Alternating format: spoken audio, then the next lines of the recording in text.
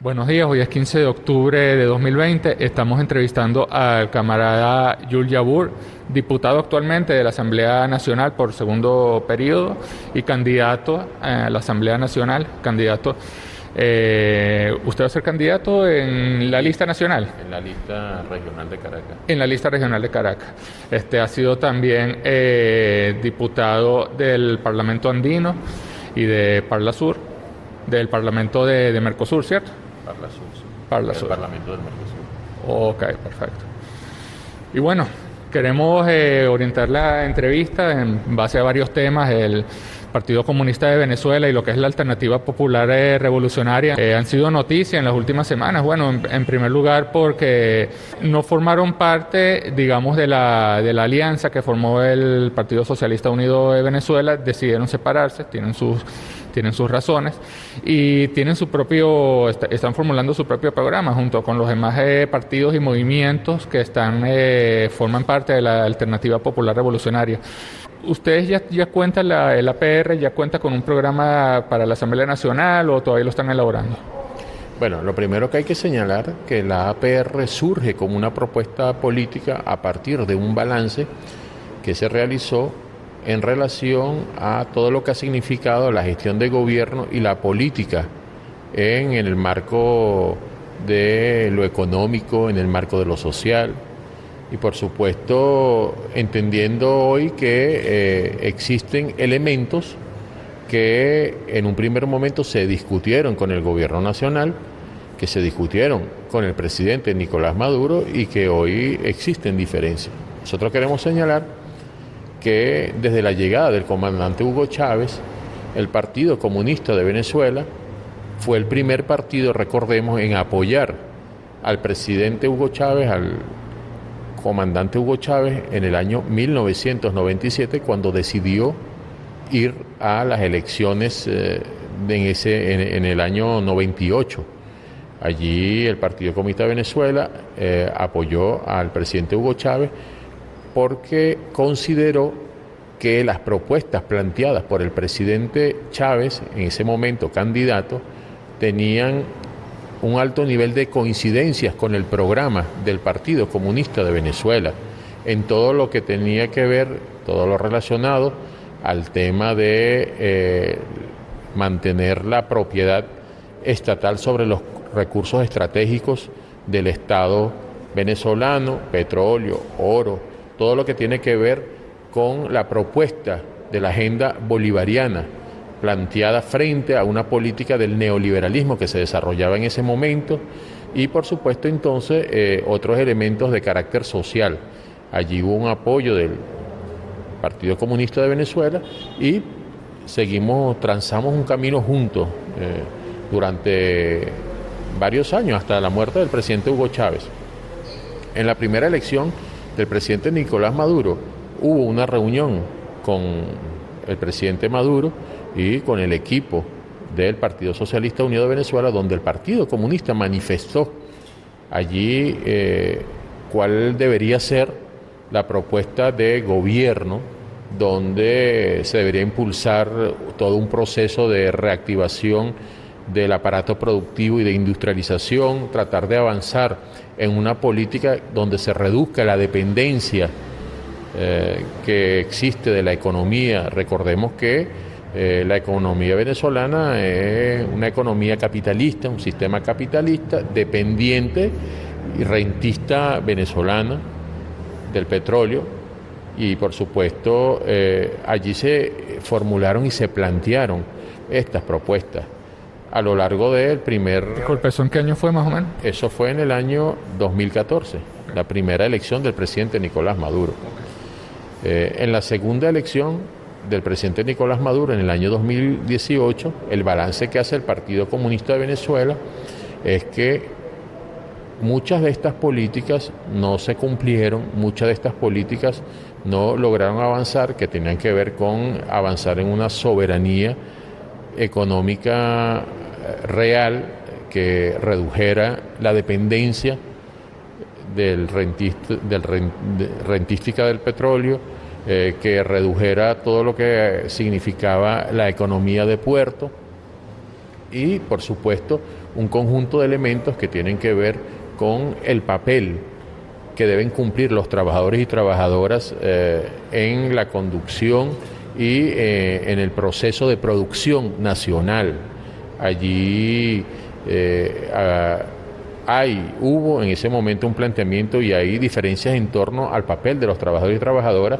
en, el aspecto real, en la conducción del proceso productivo en el país, todo el tema del campo venezolano, donde eh, lo que se visualiza y se visualizaba en ese momento, y se lo hicimos saber al presidente Nicolás Maduro, que eh, había una recomposición en el campo a favor de los terratenientes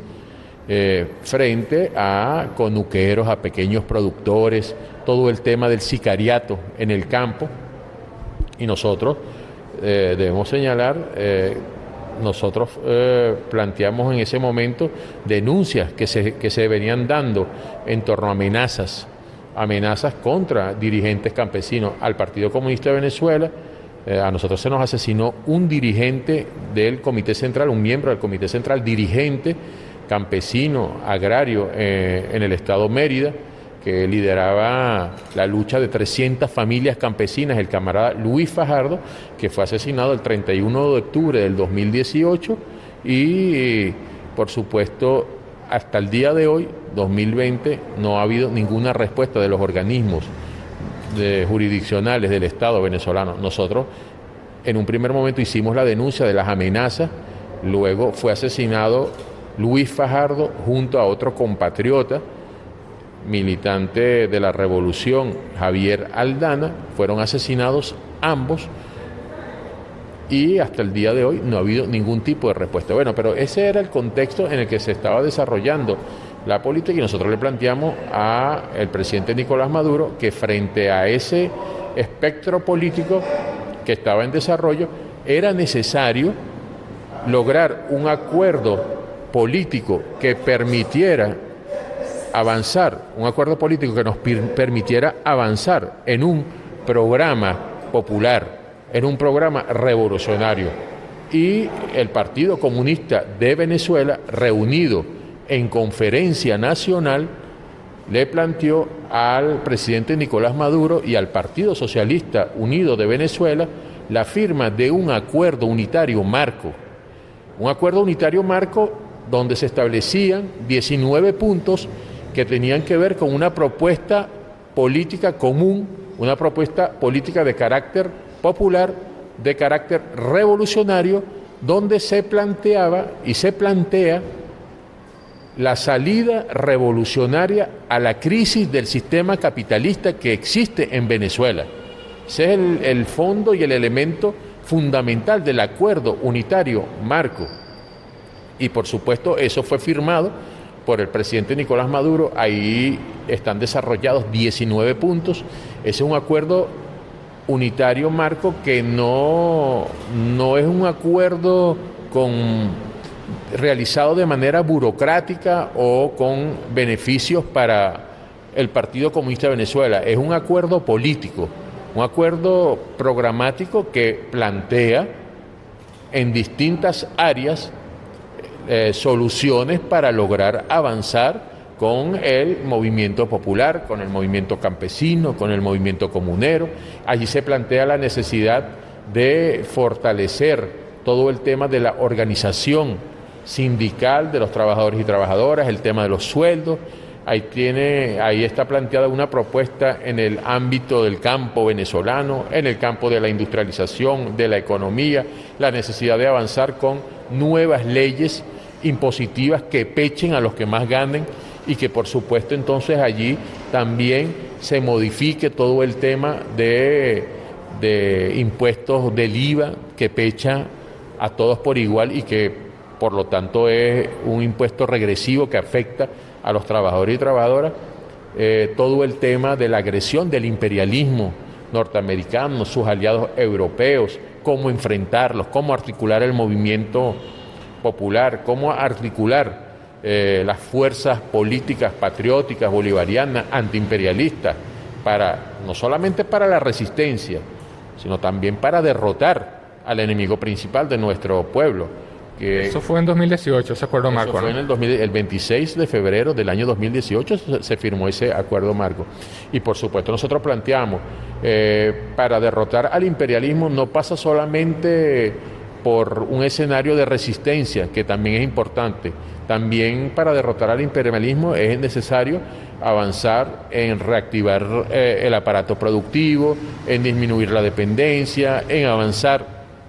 en todo lo que significa la articulación de las fuerzas eh, populares, patrióticas, y allí nosotros planteamos eh, que deberíamos construir un instrumento que permita la más amplia unidad patriótica, popular, antiimperialista de las fuerzas populares, de las fuerzas eh, vivas que hoy estamos dispuestos a avanzar en la defensa de la patria. Ahora, para aclararle también a las personas que de repente no conocen bien cómo funciona el PCB, ese acuerdo de 19, de 19 puntos le lograron algunas personas o cómo se hizo? ¿Eso hubo una, una reunión? ¿Cómo, se, ¿Cómo se efectuó ese acuerdo marco? Sí, ese fue un acuerdo marco, marco que elaboró el Comité Central del Partido Comunista de Venezuela, se lo presentó a una conferencia nacional. La conferencia nacional es el máximo es, el máximo órgano de dirección del Partido Comunista de Venezuela entre Congreso y Congreso. El máximo órgano de dirección del Partido Comunista de Venezuela es un Congreso que se celebra cada cuatro años. Entre Congreso y Congreso se pueden celebrar conferencias de carácter nacional para eh, resolver temas trascendentales en la vida política nacional, como lo es eh, el apoyo a las candidaturas presidenciales, eh, las alianzas de carácter nacional de este, de este tipo. ¿Y esa conferencia quién la forma? ¿Todos los militantes o, o cómo, cómo es eso? Esa conferencia nacional está conformada por delegados militantes del Partido Comunista de Venezuela que son designados en, eh, en los órganos de todo el país, de los órganos regionales de todo el país. Ahí hay representación de los comités regionales que asisten como delegados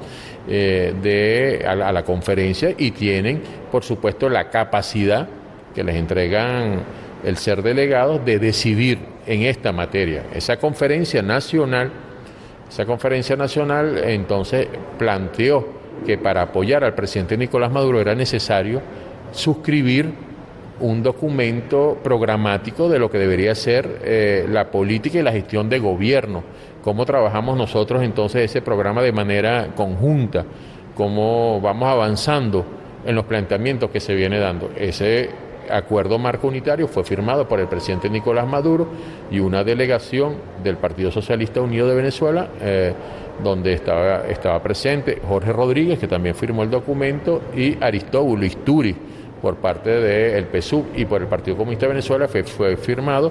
por el secretario general del Comité Central del Partido Comunista de Venezuela, Óscar Figuera, por eh, un miembro del Buró Político eh, responsable de todo, responsable de la Secretaría de Ideología en ese momento, el camarada Osvaldo Ramos, y por Yul Yabur. Eh, nos tocó entonces asumir la firma del documento, pero lo importante es que desde el 2018 hasta el día de hoy, hasta el 2020, hoy es 15 de octubre del año 2020, no hubo ninguna posibilidad de reunirnos, de analizar el documento, de establecer comisiones para la revisión y la implementación del documento, ver dónde había viabilidad, dónde quizás no era viable en este momento, eh, pese a reiteradas solicitudes, exhortos y demandas del Partido Comunista de Venezuela, al presidente Nicolás Maduro y al Partido Socialista Unido de Venezuela para discutir el documento, no hubo ninguna posibilidad, no se dio ninguna reunión de discusión de ese documento y por lo tanto, bueno. Pero nunca, o sea, desde 2018 nunca hubo ni siquiera, ni siquiera una desde la firma. Sí, no hubo ninguna reunión para discutir eso, para discutir política. Hubo pocas reuniones del Gran Polo Patriótico con los partidos del Gran Polo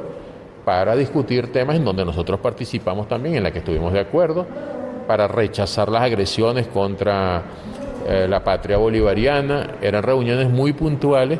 eh, para fijar posición en torno a materias puntuales en las que nosotros estuvimos de acuerdo también y consideramos que es necesario en un marco de agresiones que se viene desarrollando contra, contra el país y contra el pueblo venezolano. Entonces, bueno, a partir de ello, el 17 y 18 pleno del Comité Central, celebrado en julio y agosto, a principios de julio, el 2 y 3 de julio, si no me equivoco, y el 3 y 4 de agosto, eh, hubo un balance de todo lo que significó y ha significado eh, la gestión de gobierno, ah, hubo un balance en torno a, teniendo como base el acuerdo unitario marco, y por supuesto entonces allí el Comité Central se fijó eh, como línea trabajar en avanzar en una alianza de carácter eh, obrero, campesina, comunera y popular, que por supuesto eh, pudiera implementar las políticas que se desarrollan en ese acuerdo unitario marco y eh, levantar entonces la bandera de la liberación nacional y del socialismo. Allí surge la propuesta de la alternativa popular revolucionaria. Eh, nosotros, la propuesta de la alternativa popular revolucionaria surge a partir de ese análisis, pero también hay que señalar que ante la ausencia de reuniones con las fuerzas democráticas y antiimperialistas, con las fuerzas bolivarianas, eh, ante la ausencia y la articulación por parte del PSU y de diversos sectores, el Partido Comunista de Venezuela, junto a otras organizaciones, eh, Patria para Todos, en ese momento, el PRT, el Partido Revolucionario de los Trabajadores, eh, Lucha de Clases, diversos sectores, nos encontramos en un espacio que se denominó Frente Popular Antiimperialista y Antifascista. Pudiéramos decir que desde allí empiezan entonces un conjunto de debates, un conjunto de eh, propuestas, de articulaciones que eh, también sirvieron como germen para conformar posteriormente la alternativa popular revolucionaria. La alternativa, he hecho este recuento para que sepamos hasta dónde llegamos con el tema de, de todo lo que significa la alternativa popular revolucionaria. Surge la alternativa popular revolucionaria y la APR surge como una propuesta política, no como una propuesta electoral. Surge como una propuesta que se plantea fundamentalmente una salida revolucionaria a la crisis del sistema capitalista dependiente y rentista venezolano. Esa es la formulación, entendiendo, en primer lugar, el enemigo principal del pueblo venezolano es el imperialismo norteamericano, sus aliados europeos, los gobiernos títeres de la región y por supuesto el conjunto de actores políticos que han servido y son serviles a la política del imperialismo, que han utilizado escenarios de carácter nacional como la Asamblea Nacional, dirigida por estos sectores, para avalar y para tratar de darle eh, un contexto de legalidad, por supuesto todo ello inconstitucional, a la agresión del imperialismo, del enemigo principal de nuestro pueblo, y frente a ello, el Partido Comunista de Venezuela y las organizaciones de la Alternativa Popular Revolucionaria, lo tenemos en claro, incluso todo un programa a desarrollar en la defensa de la patria, en el escenario que sea, en el escenario político, diplomático, mediático, en los escenarios internacionales, donde hacemos vida el Partido Comunista de Venezuela y los frentes políticos de masa de nuestro partido.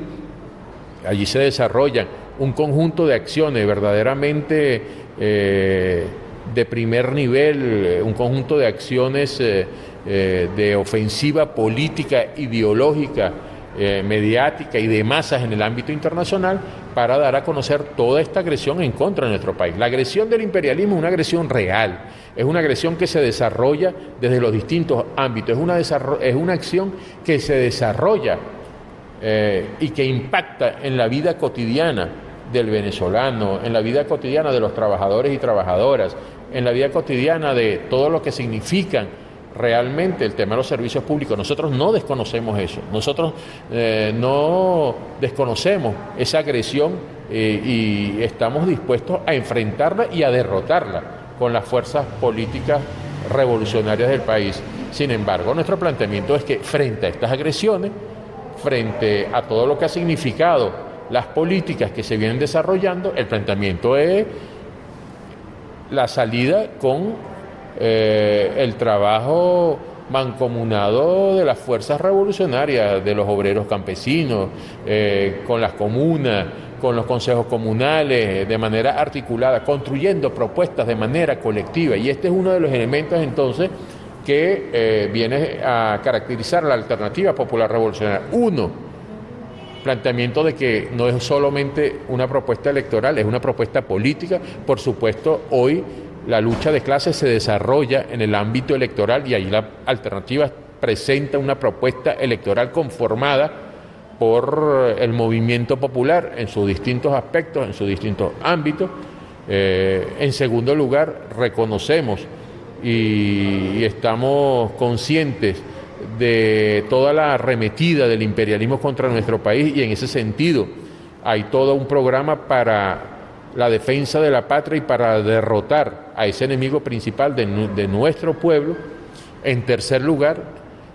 se plantea la alternativa popular revolucionaria una salida a la crisis del sistema capitalista que hoy existe en Venezuela, porque en Venezuela no hay socialismo, en Venezuela no se está planteando el socialismo, en Venezuela lo que hay es un capitalismo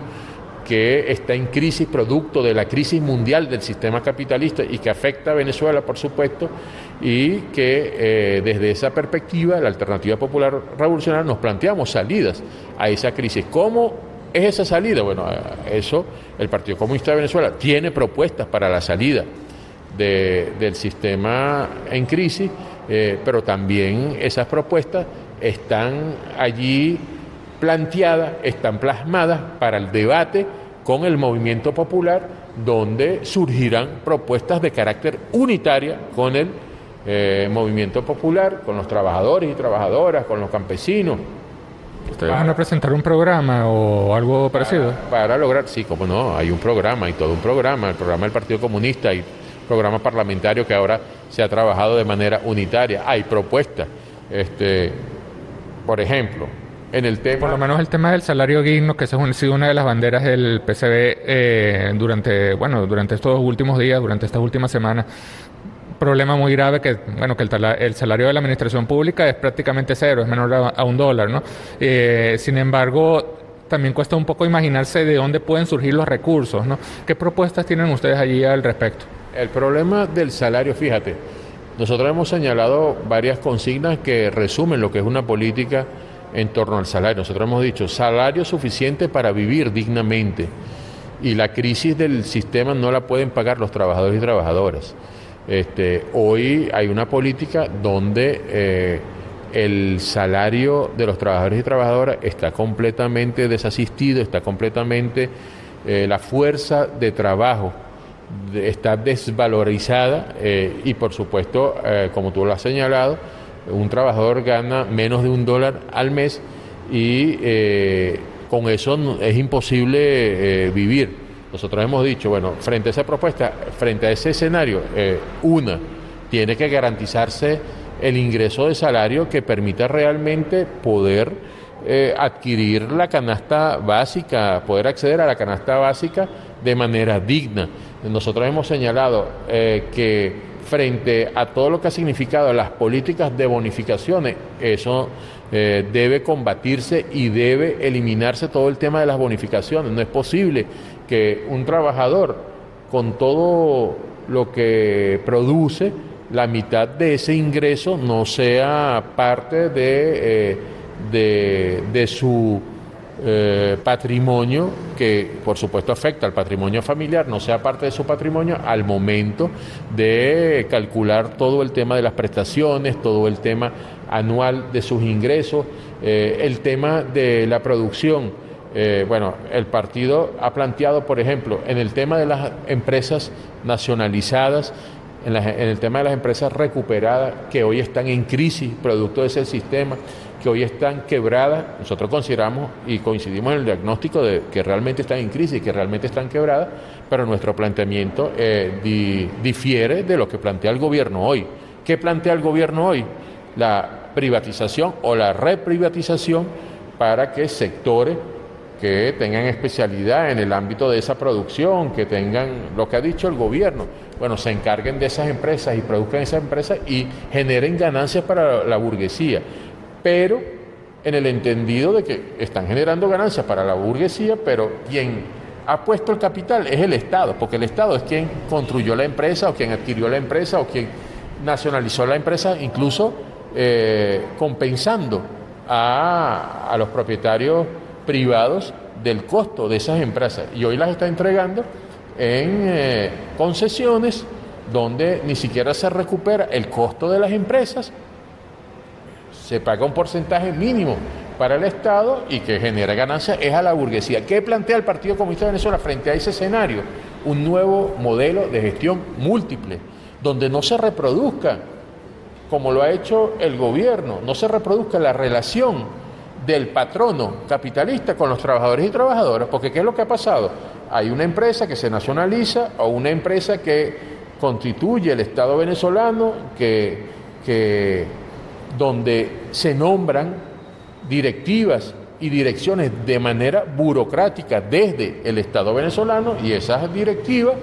en el manejo de la empresa lo que hacen es reproducir las relaciones del privado con los trabajadores. Actúan,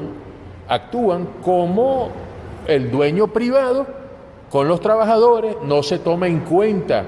la experiencia de los trabajadores, no se toma en cuenta el informe y los planes de los trabajadores y trabajadoras, no se incorporan los trabajadores a la dirección de la empresa, que son los que producen la ganancia, y por supuesto entonces hay una relación de capitalismo, una relación capitalista de producción, donde eh, por supuesto generan esta situación. ¿Qué plantea el Partido Comunista de Venezuela? Por ejemplo, eh, un nuevo modelo de gestión múltiple, donde participen los representantes del Estado, porque son los que están poniendo el dinero, pero también participen los trabajadores y trabajadoras, que son los que producen la riqueza, son los que generan la producción, que se integre a esa gestión múltiple, las comunidades donde funcionan las empresas para que participen allí, que se puedan conformar en esas empresas consejos socialistas de trabajadores y trabajadoras para el control anterior y posterior de todo lo que significa la gestión, y eso es parte de las propuestas que nosotros estamos llevando también hoy en el programa parlamentario del Partido Comunista de Venezuela y de la Alternativa Popular Revolucionaria, donde se garantiza entonces la producción, la distribución, la comercialización con la participación de esta dirección múltiple que indudablemente eh, generará resultados positivos para el país. Entonces, la salida es distinta. Las propuestas de cómo solucionar el problema que se existe es distinto. Nosotros lo hacemos desde la visión de empoderar a los trabajadores y trabajadoras, de empoderar a la comunidad, de, fortalecer el Estado-Nación, hoy el gobierno se plantea una salida con el sector privado, que venga el sector privado, que venga la burguesía y que sean ellas los que dirijan la empresa, tienen conocimiento, tienen experiencia, es lo que se vende en el ámbito internacional en el ámbito de la burguesía, entonces bueno, ellos son los que saben producir y les dan una regalía o una un porcentaje por esa concesión al Estado venezolano que muchas veces no genera ni siquiera lo que significa el mantener mensualmente una empresa de este tipo. Entonces, bueno, son los planteamientos que hoy se vienen dando. ¿Y qué le respondería usted a aquellos que dicen que eh, hay que darle más prioridad a la empresa privada porque la empresa privada es la que ha venido produciendo y que tal vez la de darle más prioridad a los trabajadores, eso es lo que va a lograr es eh, que se pueda perder un poco en un momento en el que hay bloqueo, en el momento en que 30 millones de personas hay que alimentarlas. Hay quien dice que si se le empieza a dar eh, eh, prioridad a los trabajadores o a las comunas o a esas nuevas, nuevas formas de, poder popular, que eso más bien podría poner en riesgo la alimentación de, de, todas las personas y que por eso prefieren darle prioridad a las empresas privadas que han venido produciendo desde antes. ¿Qué le respondería usted a ello? El Partido Comunista de Venezuela ha planteado y está planteado en nuestro programa la necesidad de la alianza con el sector privado. Nosotros no desconocemos esa alianza. Esa alianza es importante en una fase del proceso que se viene dando, en el proceso de liberación nacional. Pero esa alianza tiene que ser con esos sectores privados que no son dependientes ni son asociados con las transnacionales y las corporaciones, que no están subordinados hoy a ese aparato, a ese sistema mundial que controla y que son parte del imperialismo, que son las que conforman el imperialismo, que hoy concentran la riqueza y las ganancias del mundo en, manos de esas empresas y de esas corporaciones. Con esas empresas, con esos empresarios privados, hoy no puede haber alianza, porque eso va a fortalecer toda la política de agresión frente al pueblo venezolano. La alianza tiene que ser con los sectores productores, medianos, pequeños, eh, que no estén subordinados a esas transnacionales, que no estén subordinados a esas corporaciones, que por supuesto eh, estén en esa amplia alianza patriótica, popular, antiimperialista, eh, donde se pueda lograr avanzar en toda una política de soberanía en todos los rubros. Entonces, no es... no es que desconozcamos el papel del sector privado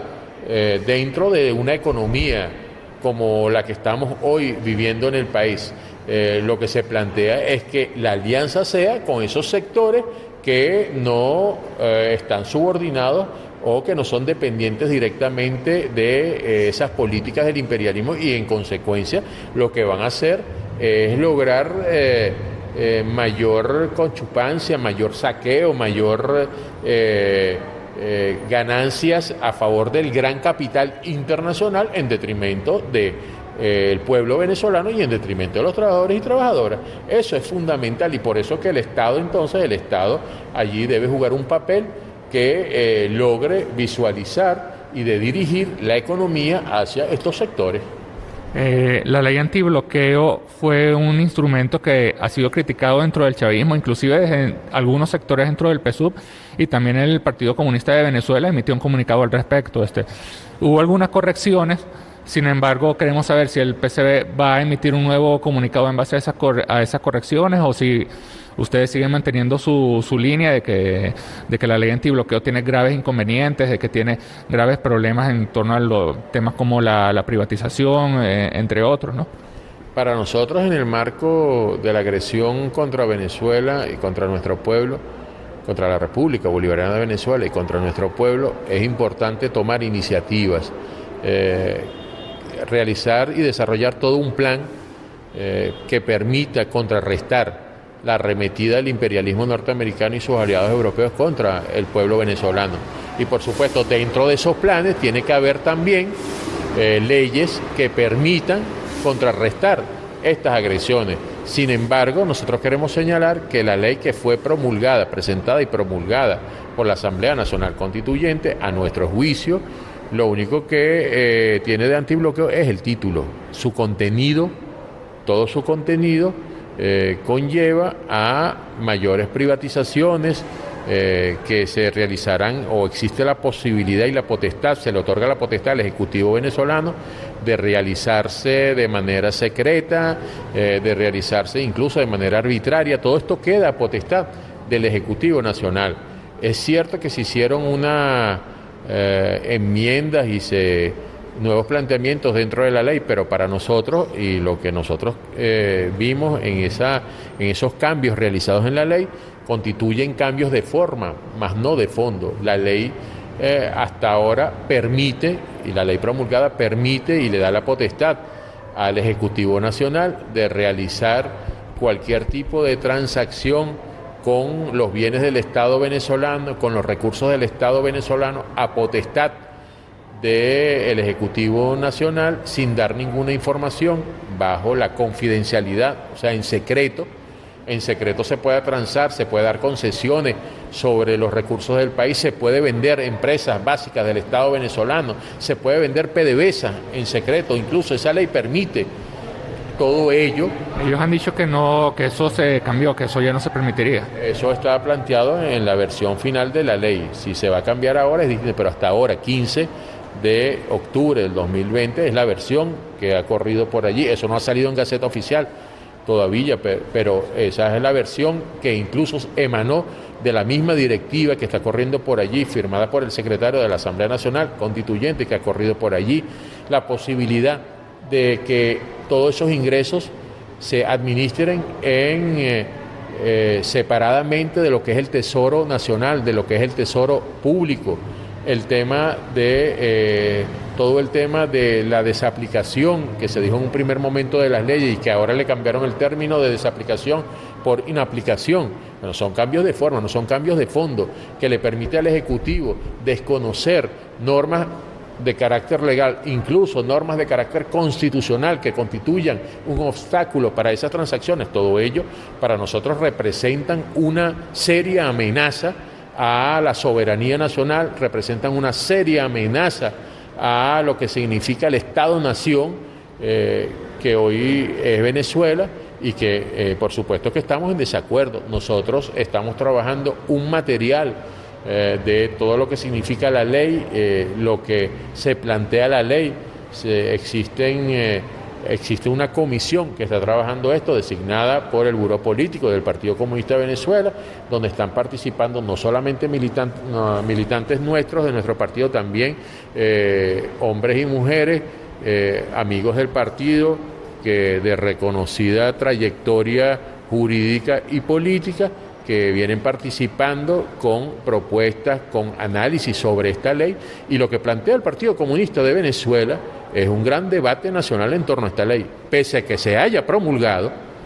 hoy el pueblo debe conocer la ley, debe conocer los alcances y el ámbito de esta ley que afecta a la vida de la República, que afecta a la vida de los trabajadores y trabajadoras, que afecta a la vida de la soberanía nacional y que, por supuesto, pueda fijar posición, que conozca la ley, que se debata la ley,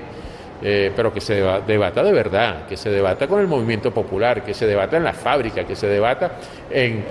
las universidades, en los colegios, que se debata en los centros de trabajo, que se debatan en las comunas, que se debatan en eh, los núcleos de trabajadores y trabajadoras. Todo esto, todo, todo, todo este sector del movimiento popular deben eh, participar en ese gran debate nacional que se debe promover y el Partido Comunista de Venezuela está proponiendo ello, pese a que ya se ha promulgado en la Asamblea Nacional y que, bueno, eh, se pretende implementar, ¿no? Una, uno de los temas más fuertes que se discutió sobre esa ley es el tema de los controles, ¿no? Recordamos incluso palabras del intelectual eh, Luis Rito García, que él hablaba de cómo se permitió que PDVSA, que tenía más de 3 millones, producía más de 3 millones de barriles diarios hace 10 años,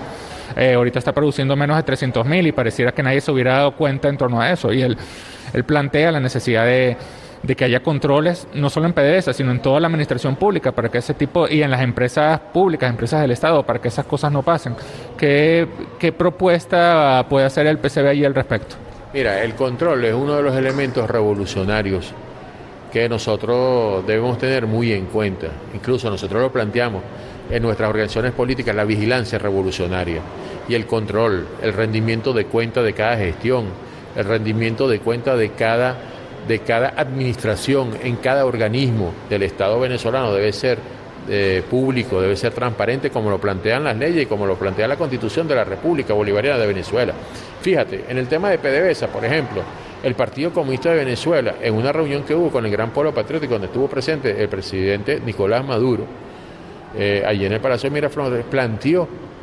eh, la necesidad de que los trabajadores y trabajadoras petroleros, que son los que conocen el campo petrolero, que son los que están allí produciendo, extrayendo eh, el petróleo y son los que participan en todo el proceso de extracción, de producción y todos los procesos de producción del petróleo venezolano, por supuesto, se han incorporado a todo el plan de, la de recuperación de la empresa estatal más importante del país, una de las más importantes del mundo, como lo es PDVSA. Allí hay informes de los trabajadores y trabajadoras, hay todo un plan fueron ellos los que recuperaron PDVSA en el 2002, fueron ellos los que eh, estuvieron día y noche trabajando comprometidos con la soberanía nacional y con el pueblo venezolano para la recuperación de PDVSA frente al sabotaje proimperialista que se impulsó desde afuera y que, por supuesto, actores serviles eh, a esas políticas estuvieron allí saboteando la empresa petrolera. Fue eh, el trabajador y la trabajadora venezolano y venezolanas de PDVSA, quienes recuperaron la empresa y quienes pusieron esa empresa a producir después del sabotaje petrolero. Hoy es importante tomar en cuenta esas opiniones y nosotros lo que vemos hoy que existe todo un planteamiento de conceder y dar en concesión a grandes transnacionales petroleras este, bloques eh, de producción de petróleo, existen eh, acuerdos, se señalan por ahí que existen acuerdos con esas transnacionales y esas corporaciones para reactivar la empresa sin tomar en cuenta a los trabajadores, sin tomar en cuenta el plan que ellos presentan, sin tomar en cuenta la organización de esos trabajadores y trabajadoras. Para nosotros es fundamental el papel de esos trabajadores y trabajadoras en todo lo que significa la recuperación de PDVSA y de todas las empresas básicas del Estado venezolano, las empresas de Guayana, donde allí los trabajadores y trabajadoras manifiestan denuncias, donde incluso muchos de ellos eh, son criminalizados y son judicializados por denuncias que hacen en torno a corrupción que están dentro de la empresa y que se producen dentro de las empresas. Nosotros llamamos al Ejecutivo Nacional a que eh, realmente se reformule todo lo que significa la recuperación de PDVSA y todo lo que significa la recuperación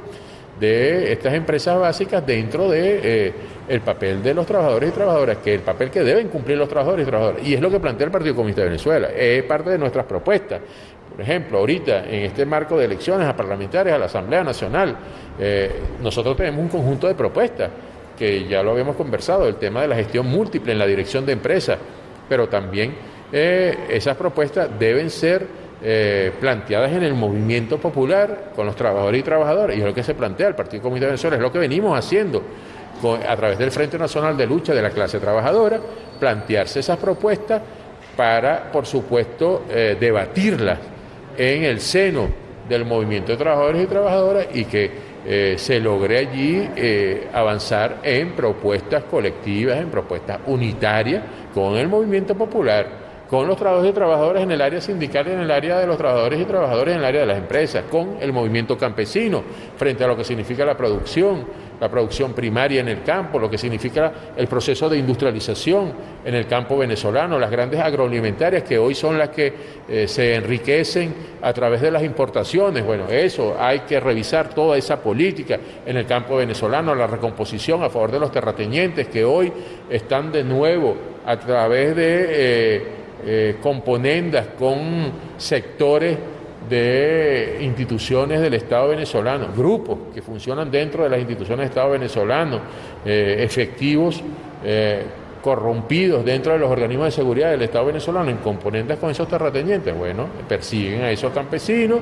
este, amedrentan a los campesinos, los detienen, asesinan a campesinos en el Estado venezolano, en, el campo venezolano, y es parte de eh, la política que hoy el Partido Comunista de Venezuela y la Alternativa Popular Revolucionaria este, denuncia, combate y plantea eh, propuestas para que eh, todas esas políticas vayan en favor de nuestro pueblo y no en favor de la burguesía, no en favor de los terratenientes, no en favor del gran capital. Por eso decimos, la propuesta es la salida revolucionaria a la crisis del capitalismo dependiente y rentista venezolano. Ahora, hablando con algunas personas que, que, son chavistas, pero que de repente en este momento no quieren votar por el PSUV y están estudiando qué hacer, algunos no quieren votar, otros están estudiando si votar por la APR. Sin embargo, algunos dicen, oye, yo no quiero votar por la APR, por el PCB, porque ellos lo que van a hacer es estarle tirando piedras todo el tiempo al, al PSUV en la Asamblea y eso va a ser una, una peleadera todo el tiempo. ¿Ustedes qué, qué, opinan de eso? ¿No va a haber coincidencia nunca con el PSUV? ¿O más bien va a haber cooperación en algunos temas, por lo menos el internacional, el, el tema antiimperialista, que, que, tenemos un enemigo común, que es el imperialismo, que está sosteniendo un bloqueo contra y una, y una serie de sanciones contra el país? Mira, lo primero que tenemos que entender que los partidos políticos son la expresión política de clases sociales. Eso es lo primero que tenemos que entender. Y que cada expresión política en el Parlamento actúa en defensa de sus intereses de clase. Si el Partido Comunista es un partido conformado por trabajadores y trabajadoras, por campesinos, por comuneros, realmente los intereses que defiende el Partido Comunista es el del movimiento popular, es el del movimiento de los trabajadores y trabajadoras. Los partidos policlasistas, donde militan conjunto diverso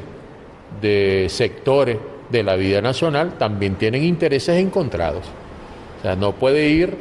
alguien que represente a un empresario o que represente a la burguesía a defender los intereses de los trabajadores y de los campesinos. Eso lo tenemos que tener en claro y nuestro pueblo sabe eso y tiene que debatir quién realmente representa sus intereses, sus intereses de clase, quién va a defender sus intereses de clase. Ahí está el meollo del asunto. Yo no voy a llamar aquí a que voten por el Partido Comunista o por la alternativa, o, o si voten o no voten. Eso queda a conciencia de cada quien, queda a conciencia de cada quien de acuerdo a sus intereses y a qué intereses quiere que se defienda. esto debe ser un gran debate, que se abra en el movimiento popular, un gran debate, eh, que se abra en, los centros de trabajo, que se abra en la población en general. Y allí cada quien decidirá entonces por quién votar. Nosotros hemos presentado, como lo hemos hecho históricamente, y hoy presentamos una propuesta política que incluye eh, una propuesta electoral que se plantean lineamientos políticos y que ahí definirán entonces el accionar del partido en el Parlamento y fuera del Parlamento. Y por supuesto que con el Partido Socialista Unido de Venezuela y con el gobierno tenemos coincidencias, y nosotros lo hemos dicho, tenemos coincidencias. ¿Coincidencias en qué? En la resistencia y en la eh, defensa frente a la arremetida que se viene dando contra el Estado venezolano. Eh, donde haya que defender la patria, el Partido Comunista de Venezuela estará en la primera línea del combate, en el escenario que sea, en el terreno que sea, en el ámbito que sea. Nosotros somos parte del acumulado histórico que ha defendido la soberanía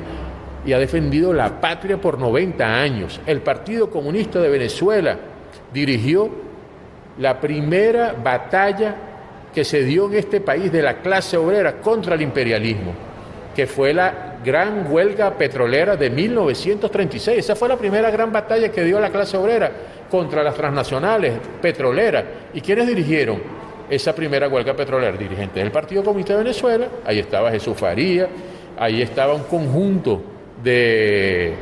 de, dirigentes, Martínez Pozo, sí, padre, Jesús Faría padre, por supuesto, eso fue en 1936.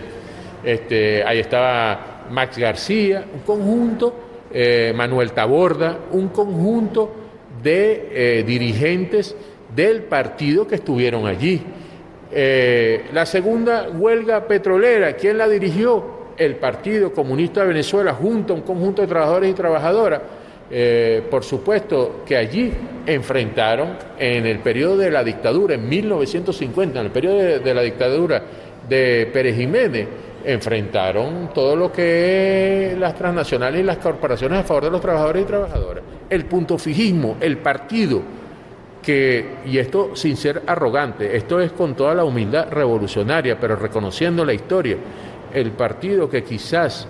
más mártires ha sembrado en la patria venezolana en todo el periodo puntofismo y antes del periodo puntofismo fue el Partido Comunista y ha sido el Partido Comunista de Venezuela. Esa es la trayectoria moral del Partido Comunista de Venezuela, ha sido la consecuencia del Partido Comunista de Venezuela. Eso ha sido el papel del Partido Comunista de Venezuela. Hoy se trata de manipular ese papel, de esa historia, se trata de manipular el actuar de la dirección del Partido Comunista de Venezuela en estos momentos, pero nuestro compromiso es el mismo compromiso histórico, es el compromiso con la clase obrera, es el compromiso con los trabajadores y trabajadoras, es el compromiso con el campesinado venezolano, con los comuneros, con el movimiento popular. Ese es el compromiso del Partido Comunista de Venezuela. Coincidiremos con el PSU y con otros sectores y otras organizaciones de la defensa de la patria, ahí estaremos coincidiendo juntos. Lo que sí estamos seguros que jamás coincidiremos con los sectores eh, que hoy promueven la invasión a nuestro país, que promueven la injerencia, que promueven, por supuesto, eh, la intervención eh, en Venezuela. Con esos sectores jamás coincidiremos. Con estos sectores históricamente los hemos combatido eh, los hemos enfrentado, hemos confrontado con ellos, lo seguiremos haciendo hasta derrotarlos en la perspectiva estratégica. Eh, en eso existe plena claridad. Con los otros sectores coincidiremos donde haya planteamientos comunes y por supuesto también confrontaremos eh, políticas donde estemos en desacuerdo, donde vayan en contra del pueblo venezolano en detrimento de la clase obrera y del campesinado venezolano. En lo que se refiere a la, parte internacional, a la política internacional, bueno, Venezuela sigue siendo víctima de estos ataques de lo que es el bloqueo, lo que es las sanciones. Sin embargo, vemos que tenemos aliados como Rusia, como China, como Irán, entre otros, este, que ellos incluso podrían colaborar en la parte de ayudar a reconstruir algunas de estas empresas del Estado que, tienen, que tienen problemas graves, como la propia PDVSA, entre muchas otras. ¿Cuál sería la, la posición que ustedes tendrían al respecto? Bueno, nosotros hemos señalado en esa ofensiva política, ideológica y de masas que se da en el ámbito internacional por parte del Partido Comunista de Venezuela, donde actuamos en escenarios internacionales a través de nuestros frentes políticos de masa. Nosotros actuamos en la Federación Sindical Mundial, con la Corriente Cruz Villegas y con eh, la CUTV. Nosotros actuamos en la Federación Mundial de Juventudes Democráticas con la Juventud Comunista de Venezuela. Nosotros actuamos en el Consejo Mundial de la Paz con eh, el COSI, el Comité de Solidaridad Internacional. Nosotros actuamos en la Federación Internacional Democrática de Mujeres, en la FEDIM, en la Federación Democrática Internacional de Mujeres, a través del movimiento de mujeres Clara El Partido Comunista de Venezuela actúa en un conjunto de organizaciones a nivel mundial, eh, donde por supuesto eh, allí plantea la necesidad de eh, contrarrestar y de combatir al imperialismo eh, norteamericano y sus aliados europeos. Y por supuesto nosotros hemos expresado y expresamos en esos escenarios, incluyendo la reunión de partidos comunistas y obreros en el mundo, donde actúan cerca de 120 partidos comunistas a nivel mundial y donde el Partido Comunista de Venezuela es parte de ese encuentro mundial, nosotros allí hemos manifestado reiteradamente y, lo seguimos haciendo la necesidad de eh, la defensa eh, de la patria venezolana y por supuesto la solidaridad con Venezuela, la solidaridad con el pueblo venezolano. Y eso ha sido así, ha sido consecuente y sigue siendo consecuente. Pero también nosotros planteamos la necesidad de conformar un frente continental antiimperialista que agrupe a los partidos eh, de carácter antiimperialista, de carácter patriótico, que vayan más allá de los partidos comunistas y de los partidos obreros. Allí, por supuesto, integrarían también a estados, a gobiernos de estados, a gobiernos de estados que eh, mantienen hoy una firme posición antiimperialista y también lo planteamos a nivel mundial. También es, importante en el contexto donde se desarrollan contradicciones eh, interimperialistas, donde se, se desarrollan contradicciones intercapitalistas también, es importante que frente a ello también se conforme un gran frente mundial antiimperialista. Y hoy gobiernos de países que tú has nombrado como China juegan un papel importante en todo lo que ha sido eh, las posiciones firmes frente a las agresiones del imperialismo norteamericano europeo contra los pueblos donde se impulsan guerras, donde se impulsan golpes de Estado, donde hoy se saquean recursos de países frente a esas políticas guerreristas del imperialismo norteamericano y europeo, donde hoy tenemos que señalar que existen cerca de mil bases militares norteamericanas y de la OTAN en el mundo para implementar esa política. Y es uno de los factores que constituye al imperialismo, al, al gobierno de los Estados Unidos como el instrumento más poderoso del imperialismo norteamericano frente a toda esa política, gobiernos como China y otros gobiernos han jugado un papel importante y la alianza con esos gobiernos hoy es importante. La alianza con países como Rusia, con, como países como Irán, es importante. La India es importante, eh, pese a que son, por supuesto, gobiernos de carácter capitalista pero este, hoy existen posiciones importantes en el tema de, la resistencia frente a las políticas guerreristas del imperialismo y consideramos que esas alianzas que se están desarrollando se deben fortalecer y se deben desarrollar en mayor perspectiva. Eso, por supuesto, que es importante, eh, manteniendo siempre eh, todo el tema del resguardo y de la defensa de la soberanía nacional de, unas relaciones como lo, dijera el presidente Hugo Chávez en su momento, unas relaciones de eh, igualdad, de complementariedad, de relaciones mutuas, de fortalecimiento mutuo, ¿no? y no relaciones de subordinación. Este, Ahora, pero justamente sobre ese tema, el tema de Rusia, China, inclusive el tema de la, de la ley antibloqueo, hay una discusión al respecto,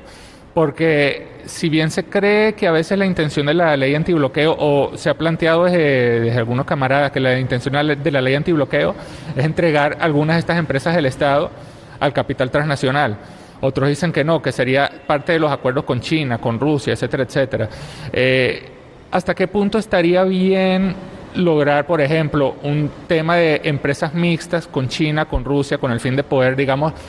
revivir o rehabilitar o reconstruir esas empresas que tienen graves problemas? ¿O hasta qué punto eso también podría considerarse como entreguismo? Eh, Mira, la dependencia no puede ser mejor con un país que con otro. O sea, la dependencia debilita el carácter del Estado. Eso es una realidad, sea con quien sea. Ahora, nosotros consideramos que en el marco de, de la política mundial y de esa geopolítica mundial, es importante fortalecer un frente que hoy se ha levantado frente a, las guerras, frente a las agresiones, frente a esa política guerrerista. Ese frente hoy se conforma por esos países como China, como Rusia, como Irán, es cierto.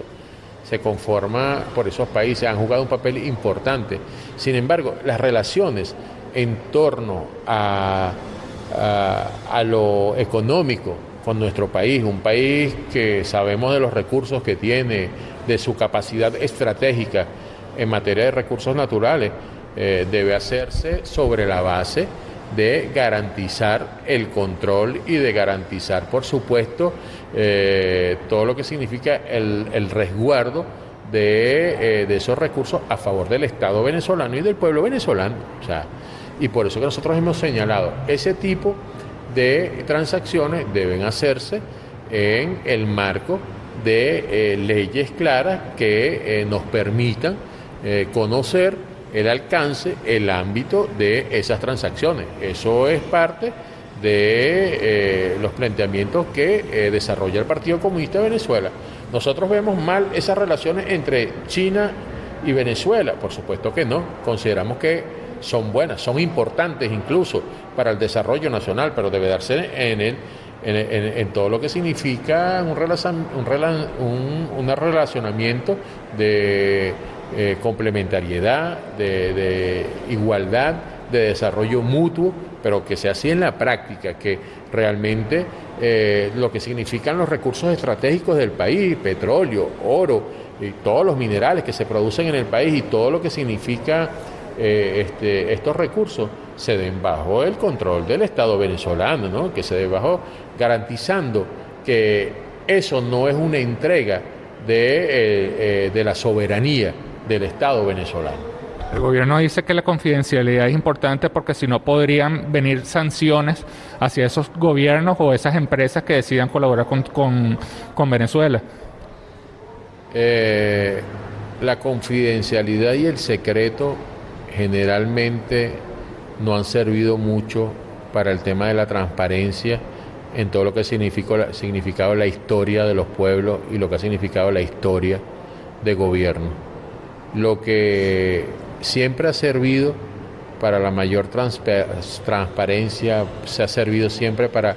que haya información, que haya claridad, es que se le hable con la verdad al pueblo. Y por eso muchas veces nosotros demandamos del gobierno nacional, desde el Partido Comunista de Venezuela, que se le hable con la verdad al pueblo. Este pueblo ha desarrollado un nivel de conciencia, un alto nivel de conciencia que le ha permitido resistir los embates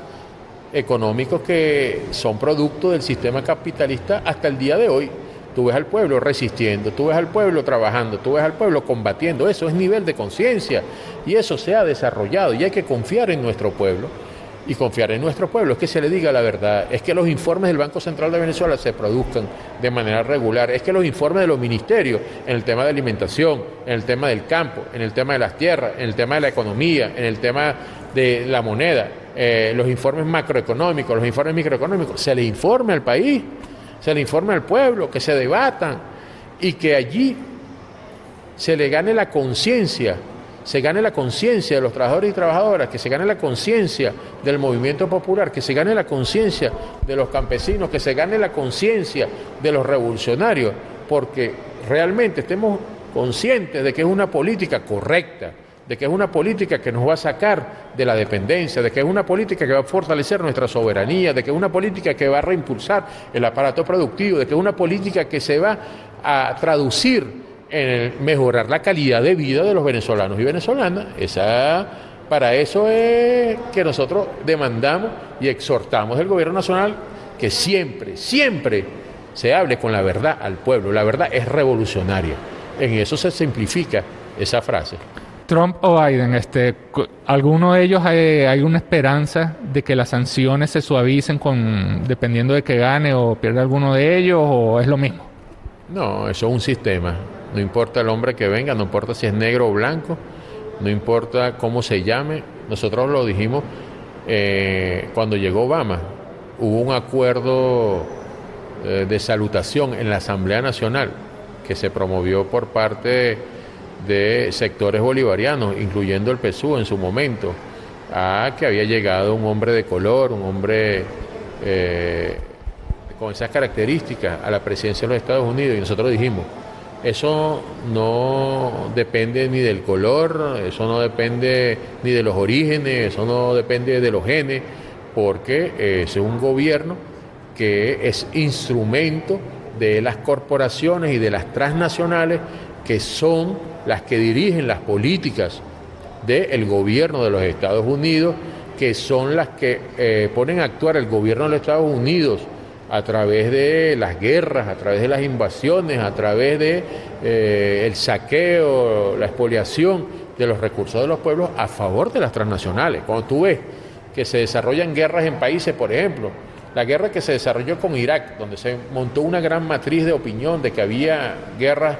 de destrucción, armas de destrucción masiva, armas biológicas. Cuando tú haces un análisis de todo ello, tú lo que ves es que eh, el presidente Bush, quien fue presidente en el periodo de esa guerra, en los años 90 contra Irak, era un hombre que venía de las petroleras de Texas. Eh, el vicepresidente era un hombre que representaba las empresas que se contrataban para recoger los escombros, Dick Cheney, los escombros y las reconstrucciones eh, en, los países donde había guerra. Condoleza Rice, que era la canciller eh, del gobierno de los Estados Unidos, representaba las grandes navieras que transportaban el petróleo del mundo. El sector, el sector energético petrolero de las transnacionales y de las corporaciones eh, planificó y financió e impulsó la guerra en Irak y la guerra en el Golfo Pérsico. ¿Cuál era la finalidad? Lo que estamos viendo ahorita, toda la producción que se está desarrollando en Irak va a manos de esas transnacionales y de esas corporaciones. Todos los beneficios de reconstrucción, todo el beneficio de los traslados de las grandes navieras fueron y van a esa transnacional y esa corporación. Entonces, en definitiva, son las corporaciones y las transnacionales los que van escogiendo los candidatos, los que te financian los candidatos, porque ser candidato en los Estados Unidos no es ir a inscribirse en el ente electoral, es genera un costo de millones de dólares, donde un ciudadano común no puede ir a ser candidato, como lo es en Venezuela o como lo es en otro país tiene que estar financiado por las corporaciones y las transnacionales. Y para ser financiado por esas corporaciones transnacionales, tiene que ser un hombre de ellos, tiene que ser uno de esos ejecutivos que ellos llaman de esas corporaciones y esas transnacionales, y así lo son todos, representan esos intereses, y por lo tanto la política, la política es una, se desarrolla quizás con las características de cada quien, con la forma de decirlo cada quien, pero al final representa una política. Obama, que es ese presidente de color, que dijeron en algún momento que iba a cambiar la política de los Estados Unidos por sus rasgos y por sus orígenes, fue el presidente que más guerras desarrolló en el mundo, solamente en África. En el periodo de Obama, 17 países en guerra, solamente en África. Entonces, bueno, Venezuela juega hoy un papel fundamental a nivel continental y a nivel mundial, por todo lo que nosotros sabemos aquí, por las reservas de petróleo, por lo que significa eh, la presencia de minerales. 13 de los 17 minerales más cotizados en el mundo están en Venezuela. Todo ello representa, representa para el imperialismo eh, eh, un objetivo fundamental, pero más allá de ello también recordemos todo lo que se plantea a través de la doctrina Monroe, el imperialismo y el gobierno de los Estados Unidos, y es que consideran toda esta parte del mundo su patio trasero. Y por lo tanto ellos lo han, reafirmado ahora con Trump, incluso lo han señalado de manera descarada, de manera abierta. Ellos tienen que organizar la retaguardia. Venezuela es parte de la retaguardia, según la doctrina Monroe, de los Estados Unidos y por lo tanto ellos no pueden ceder a, Estado, a, Venezuela, ellos no pueden permitir que se establezcan alianzas distintas a las establecidas antes de la llegada del comandante Hugo Chávez con los Estados Unidos, donde se mantenían meras relaciones bilaterales. Las relaciones de Venezuela eran relaciones bilaterales, tenían relaciones multilaterales de manera formal, pero las relaciones reales de Venezuela, las relaciones internacionales eran relaciones bilaterales con el gobierno de los Estados Unidos. hoy pretenden que eso vuelva a ser así, hoy pretenden que esas relaciones se fortalezcan, que ellos tengan el control total ¿no? de, esta, de esta política. Por lo tanto, no, nosotros no podemos de manera muy ilusoria, llamaría yo, pensar que, de que la política de los Estados Unidos hacia Venezuela y hacia el mundo, no solo hacia Venezuela, vaya a cambiar porque eh, esté Trump o porque llegue Biden. A lo mejor Biden lo dirá de manera distinta, lo maquillará distinto. Trump es más descarado, es más arrogante, pero eh, al final es la misma política, eh, están los mismos planes, que son los planes de la dominación y de la hegemonía mundial del capitalismo y del imperialismo, que es la fase superior del capitalismo, frente al mundo, ¿no?